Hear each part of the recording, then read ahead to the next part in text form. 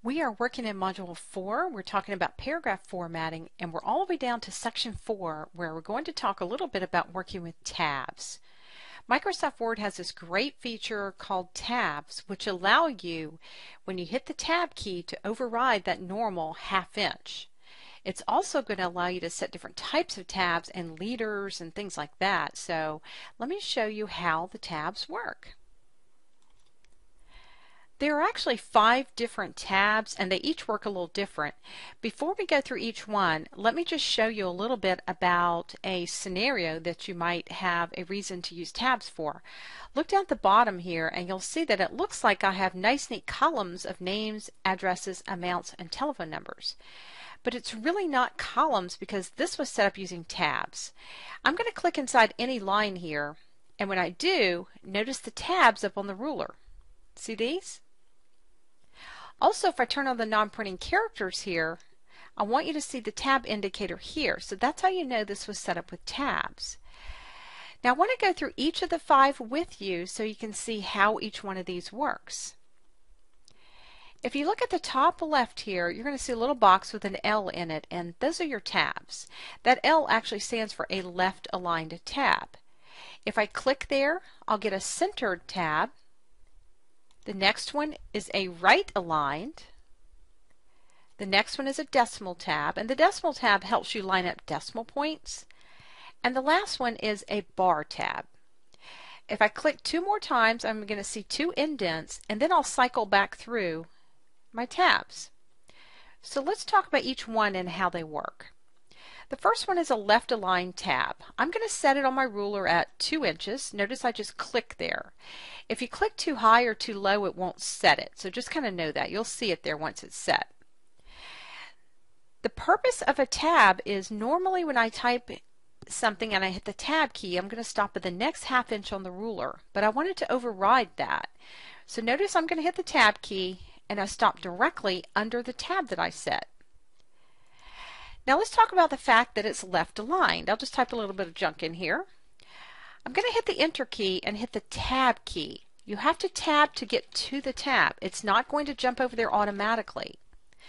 If you happen to forget and you type some text, just click at the beginning of that text and tab over to it.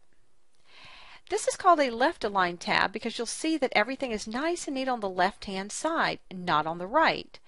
So if you think about our addresses, down at the bottom here, addresses are always nice and neat on the left, but they're not the same length. So that's a good example of a left-aligned tab. I'm going to delete this text. And to delete the tab, you're going to click on the tab itself from the ruler and drag it under the ruler. Be careful because you could add an extra tab doing that that you didn't mean to. You can always undo, by the way. The next tab is a centered tab, and this has nothing to do with centering on the page. It means that I want to center underneath wherever I place the tab. Let's say I place it at one and a half on the ruler or close to it. Now that I'm here, watch when I type, it looks like there's an invisible line and everything is centered. See that? Can you think of a good example for a centered tab? What if you actually did have two real columns in Word and you want each column to have text that's centered? That would be a good example of setting one in each column. All right, I'm going to delete this. Get rid of my tab.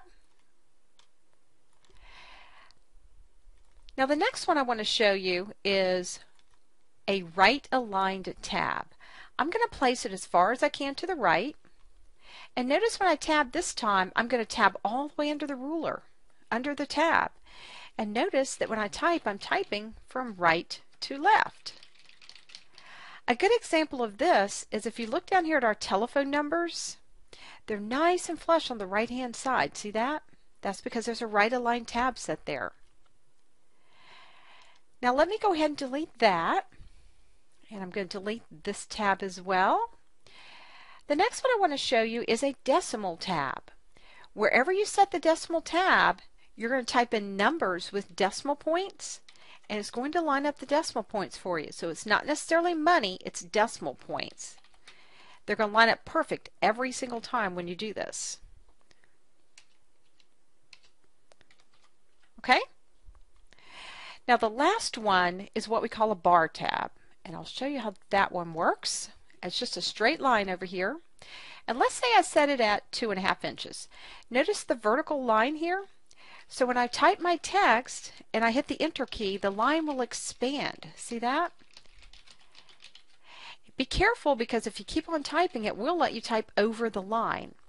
So a good example of this might be, I see a lot of resumes that have on the left the dates, then they'll have vertical line, and on the right they'll have information. So let me go ahead and delete this and then I'll show you how I did that scenario down at the bottom. Alright, so I've gotten rid of all my tabs and I'm all the way back to the left here. I know that I'd like to have four columns, or so it looks like.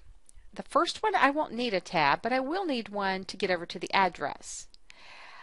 A left aligned tab is probably the best one for that because it's going to line my addresses up nice and neat on the left hand side.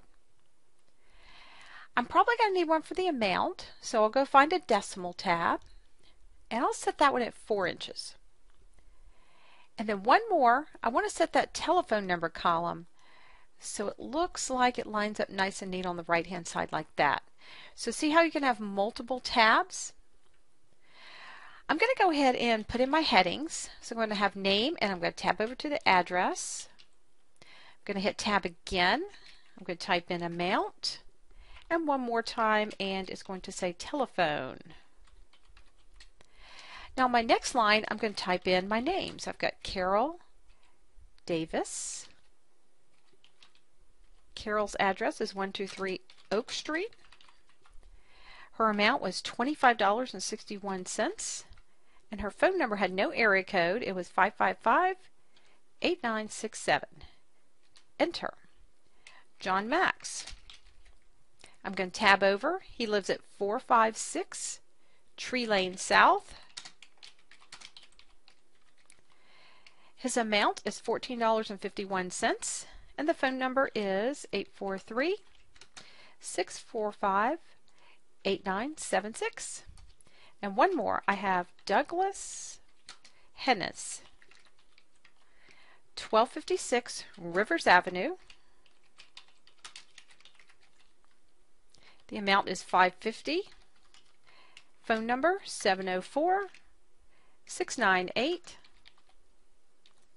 3258. Now, if something like this happens to you, let's say I was here and I accidentally just hit tab again and it looks all weird. Turn on your non-printing characters to see what you did. If you notice, you have a tab right in front of the 3258. So all you have to do is backspace over it and it'll bring it back up where it needs to be. So don't worry if it looks out of place. You can always turn on your non-printing characters and check out what you've done. Looks like nice neat columns, right? Have you ever noticed, especially in the front of a book, this is a good example, they'll have the table of contents. And the table of contents will have Carol Davis and then goes dot dot dot dot dot all the way to the 123 Oak Street. Those dots are called leaders. Leaders lead up to a tab. Let me show you how to set those. I'm going to select these three lines. Now the way you're going to get into the actual options for the tabs, you can actually double click the ruler or if you click on the arrow next to the paragraph grouping, you'll see tabs right down here at the bottom. Here are the three tabs that I've set. And you'll notice that when I click on each one, it tells me that the alignment in this case is left and there's no leader. I have three choices when it comes to leaders. I can have dots, dashes, or a straight line. I'll choose number two and I'm going to set. And you have to do that for each one. And let me do this last one and set that one. Now I'm going to click OK and there's your leaders even if I hit the enter key and I typed a new name in, let's say it was Tim Scott, notice when I hit the tab key, there's my leaders. It's going to carry that forward.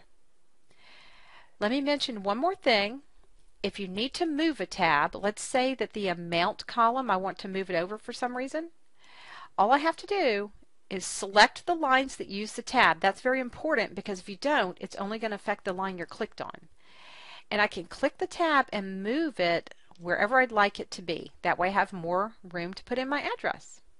So that's how tabs work.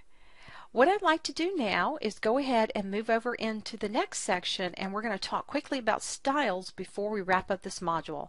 I'll see you shortly. Hi, I'm Molly. Thanks for watching. If you would like to see similar videos, click the subscribe button on the right. I'll see you next week with additional videos.